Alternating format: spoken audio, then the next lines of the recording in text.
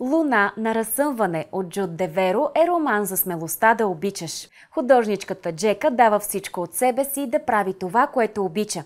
Когато обаче усеща, че има нужда от промяна, се завръща в Едилин. Какво е оставила там? Има ли някой, който я чака? Доктор Тристан е мъжът, който тя не е забравила, а той още пази снимката й. В една вълшебна нощ двамата отново ще се срещнат. Кое ще изберат обаче? Любовта или личният път да правят това, което обичат? Луна на разсъмване от Джуд Деверо е романтична история за миговете, в които искаш да останеш завинаги. За любовта, която е по-силна от всичко и за решенията, които те правят щастлив.